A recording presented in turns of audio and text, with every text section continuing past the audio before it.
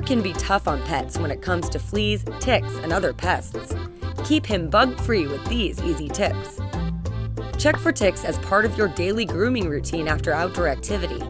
To remove a tick, grasp it as close as possible to the dog's skin with the tweezers and pull straight out. Always wear plastic gloves and clean the spot with rubbing alcohol. Summer brings more hookworms and heartworms, which infect your pet through the pads of his feet. Get a prescription from your vet to keep these pests away. Use a topical bug repellent to keep pets free from mosquitoes, flies, and other biting pests.